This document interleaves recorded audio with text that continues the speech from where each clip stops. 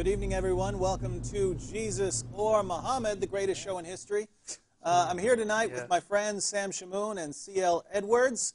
Uh, you all know them, and we're going to have a special guest here in a few minutes, uh, Anthony Rogers, who uh, we're convinced is, is one of the gr- uh, best Christian apologists out there. Uh, but you haven't seen him before here, and tonight we'll uh, show you what he's got for us. We're going to be focusing on a very important passage in the Quran. Uh, in fact, if, if you're going to, as a Christian, if you're going to look at a passage of the Quran uh, to understand uh, the Muslim position on Christianity, uh, it's probably the most important passage you can look into. It's Surah 4, verse 157 through verse 158. This is the passage that talks about uh, the crucifixion of Jesus. It gives uh, what Muslims believe to be the Jewish reaction to what happened with Jesus. And so it's a very interesting passage, and it's a passage that allows us to test Islam. Now, what do I mean here? Well, think about this. There are certain things that we can investigate directly. So let's take uh, something like uh, the Trinity. Mu- Muslims say God is not a Trinity, Christians say God is a Trinity. That's not something that we can look at directly. You can't put God under a microscope and say, well, he is a Trinity. We, we, we examined it scientifically and we found that God is a Trinity. You can't do that. But there are situations where we can directly investigate something uh, because a certain claim is made that allows us to investigate it directly. And Jesus' crucifixion, the Jewish response to Jesus, these are things that we can investigate directly. And so here in the Quran, in Surah 4, claims about Jesus and about the Jews and what Jews were saying about Jesus, all these claims are being made, and it allows us to investigate what really happened to see if Islam matches up. And if Islam lines up, well, then Islam is right on the money. And if Islam doesn't line up, well, Islam's got a problem. Uh, so we're going to look at this passage. Uh, I'm going to begin by asking our brother CL to tell us a little bit about what his view was of this passage um, about Jesus. Uh, because our friend is a former Muslim, he was a Salafi up until just several months ago. And so, brother CL, what did you think about this passage in the Quran? Well, Dave, um, as Muslims, we always believe that this text here was like a damning proof against Christianity, you know, um, because, you know, the whole thing is if Jesus dies and he's resurrected, you kind of throw out all the claims of Islam, you know, but you have to have something to dismiss the claims of Christianity. So uh, we used to love to quote this to show, listen, you Christians, you've got it dead wrong. Also, this was, you know, it was thought to be like knowledge that Muhammad had that other people just didn't have, which was a proof of his prophethood. You know, that Muhammad knew this secret that all you Christians didn't know about for the last 600 years before he came on the scene, that he had this revelation that Jesus was never killed, he was never put on the cross, thereby there was no blood atonement or resurrection at all. You Christians have it wrong. We have the real, you know, secret knowledge, and we're here to give it to you.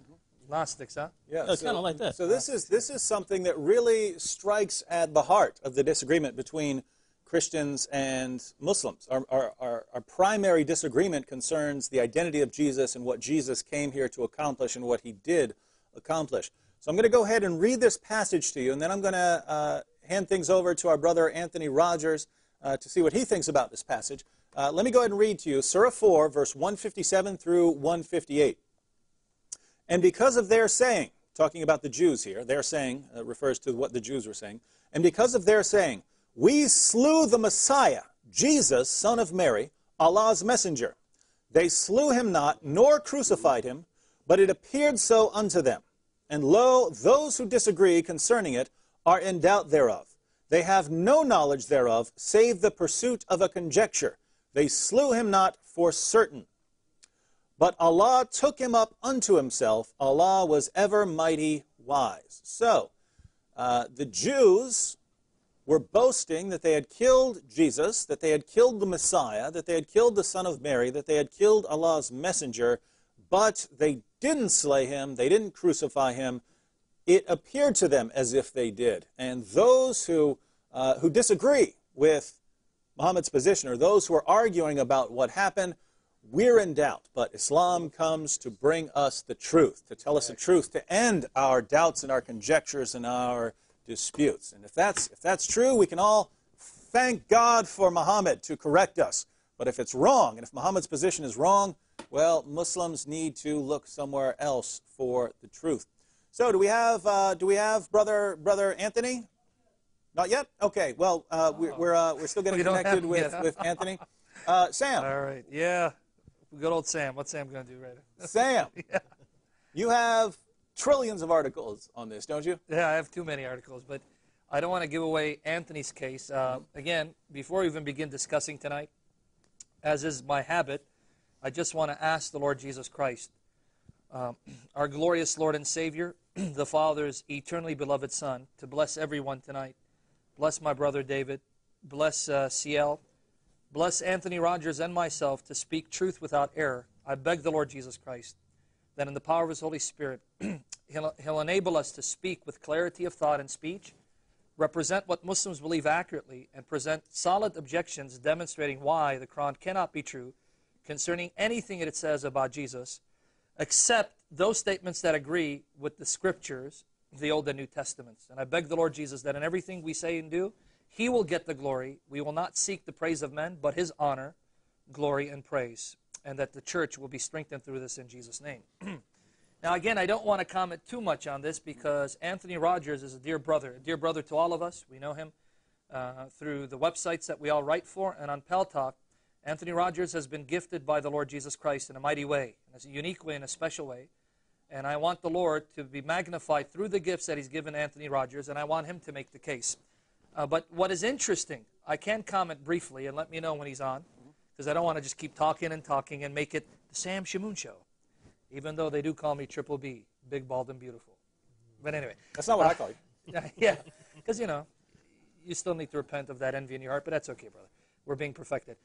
One thing about chapter 4, verse 157, it's ironic, David, that that passage says that those who doubt what the Quran has to say concerning Jesus' final moments on earth are full of conjecture. However, it's actually the Muslims who are full of conjecture because till this day, the Muslims do not have one interpretation of Surah 4, 157. There are various interpretations offered by various Muslim scholars, not just today, but even historically. Let me just mention one that's very old, that's attributed to Ibn Abbas. Now, some of you may be wondering who Ibn Abbas is. Ibn Abbas was Muhammad's first cousin, considered one of the greatest Muslim scholars that ever lived. In fact, we have CL right here, hmm. former Muslim who, by the grace of Jesus Christ, has abandoned the darkness of Islam and has come to the glorious light of the gospel of Jesus Christ, the risen Lord of glory. As a Salafi, what was your view of Ibn Abbas before I give this tradition attributed to him? Ibn Abbas was gold. I mean, this is the prophet. Not only he's a Sahabi, he's a, direct disciple. Explain Sahabi what it is for those who don't speak a Arabic. A Sahabi is a companion. You know, uh, Muhammad called his disciples his Sahaba, his companions. So he was a Sahaba, a direct uh, disciple and student of Muhammad. Not only that, he was his cousin, he was a relative of his, he was a part of his family. And third, Muhammad prayed directly for him to receive knowledge of the interpretation of the Quran. Wow. And the other Sahaba, like um, Abu Bakr, used to take him and around the, the older Sahaba so he could explain the Quran to them. He was just a young boy. And he would amaze them at his explanation. And that's supposedly an answer to Muhammad's request. Yes. Supposedly, uh, Muhammad invoked Allah, bless Ibn Abbas with wisdom concerning the deen, specifically the Quran. And supposedly, Allah answered it and made Ibn Abbas one of the greatest Muslim scholars that ever lived. With that said, according to Ibn Kathir, and for those of you listening, Ibn Kathir is considered one of the greatest, most authoritative Muslim commentators on the Quran. You can actually read an abridged translation of Ibn Kathir online for free. Go to the following websites. Go to www.tafsir.com. Tafsir.com. Let me spell tafsir real quickly. T A F S I R. You can find this abridged version online for free so you don't have to buy the hard copies, which would cost you about $100. That same abridged version is found on another URL www.q, the letter Q, tafsir.com. Q, tafsir.com. According to Ibn Kathir, a tradition that goes back to Ibn Abbas concerning the meaning of Surah 4157 is the following. On the night of the Lord Jesus' betrayal,